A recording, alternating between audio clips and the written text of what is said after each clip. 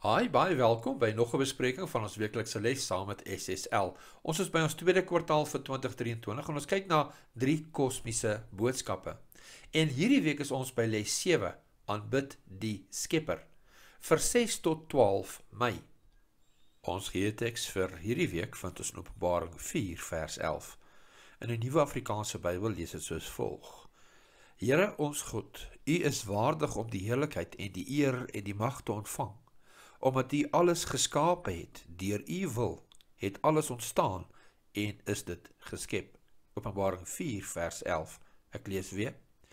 Here ons God U is waardig om die heerlikheid en die eer en die mag te ontvang omdat U alles geskep het. Deur U wil het alles ontstaan en is dit geskep.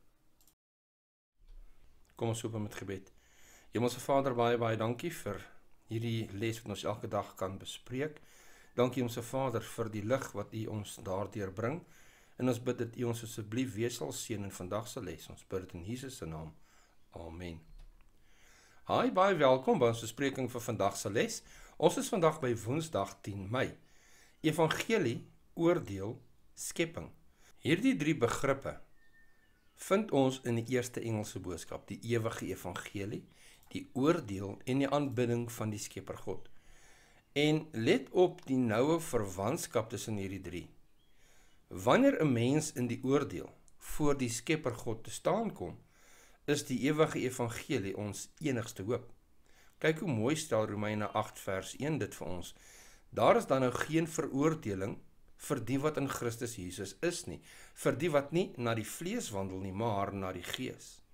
Geen veroordeling nie. Nie nou nie en beslis ook nie in die oordeel nie. Maar as ons kyk na die evolusie leer, die evolusie teorie wat vandag deur die Christendom ook aanvaar word, dreig dit om die Christelike geloof te verwoes. Daarom is hierdie boodskap dat God as die skepper van die kosmos aanbid moet word van kardinale belang veral in ons tyd. Te midde van hierdie evolusionêre aanslag het God 'n kerk in die lewe geroep. 'n Gemeenskap van gelowiges wie se naam op sigself 'n getuienis teen die evolusie teorie, die evolusie leer is. Gelowiges wat 'n kernwaarheid verkondig dat God ons skepper en verlosser is. Die les vra ons moet kyk na Efesiërs 3 vers 9, Kolossense 1 vers 13 tot 17, Openbaring 4 vers 11 En Romeine 5 vers 17 tot 19, nou word daar gevra wat leer 'n mens hieruit aangaande Jesus as Skepper God en Verlosser? Efesiërs 3 vers 9 lees en vir almal aan die lig te bring wat die gemeenskap is van die verborgenheid wat van alle eeue af verborge was in God wat alles geskape het deur Jesus Christus. So hier sien ons dat God alles geskape het deur wie? Deur Jesus Christus. Kolossense 1 vers 13 tot 17 lees.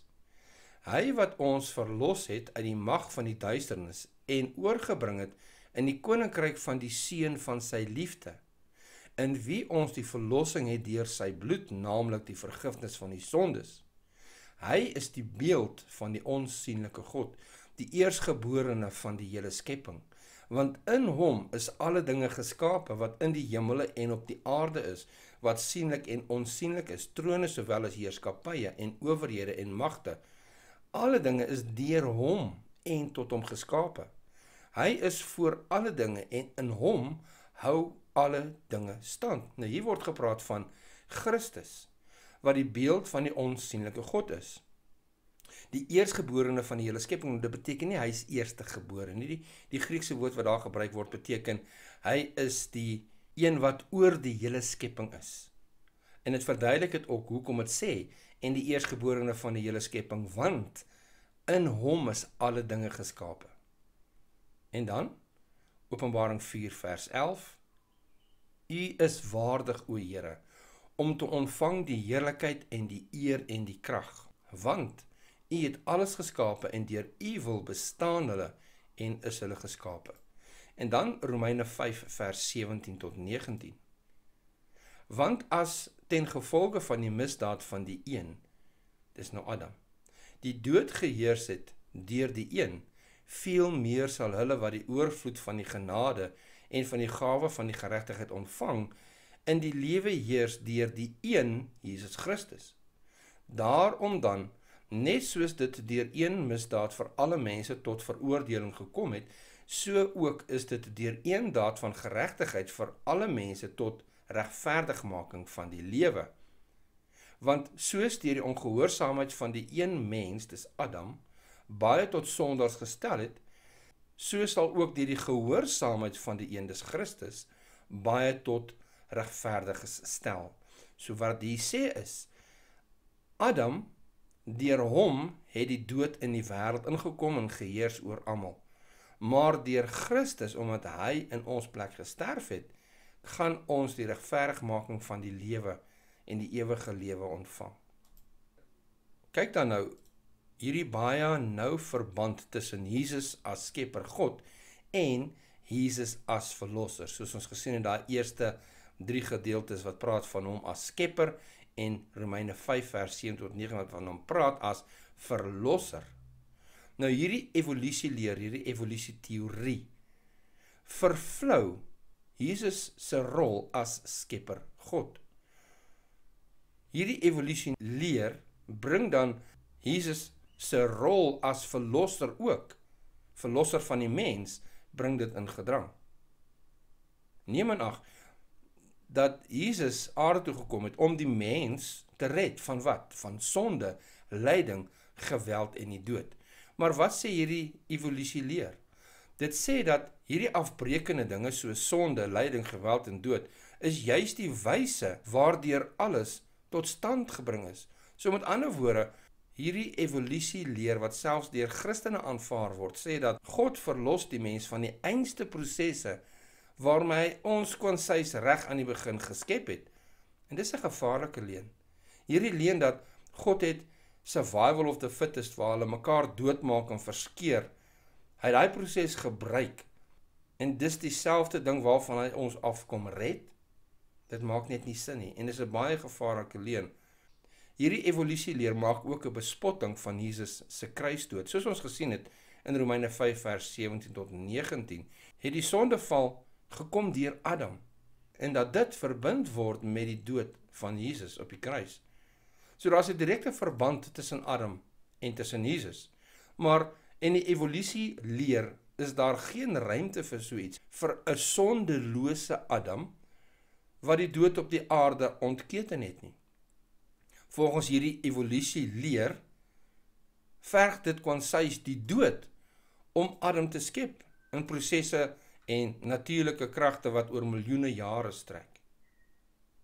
Van meet af aan verwoes die evolusie leer die Bybelse grondslag van Jesus se kruisdood.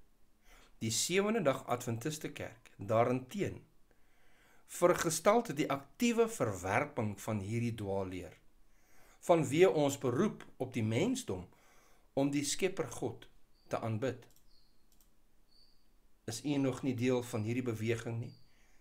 Ek wil u nooi vandag, as dit u begeerte is om deel te word van hierdie globale beweging wat hierdie laaste dag waarheid na die wêreld toe vat. Stuur vir my 'n boodskap. Gesels met my. En as u voel u kan nog nie daai besluit maak nie, vra u self die vraag af. Wat is dit wat tussen my en die Here staan om hierdie besluit te maak. Kom ons bid. Hemelse Vader, baie dankie vir die voorreg om deel te wees van hierdie beweging wat die wêreld terugroep na die Skepper God toe. Hemelse Vader, as 'n groot aanval teen Christus as ons Skepper, Christus as ons verlosser. En dit is die doel van die duiwel. Maar Here, ons loof en prys U dat U ons gestuur het om juis hierdie dwaalleer teen te staan en die waarheid van ons Skepper Verlosser God aan alle mense te verkondig.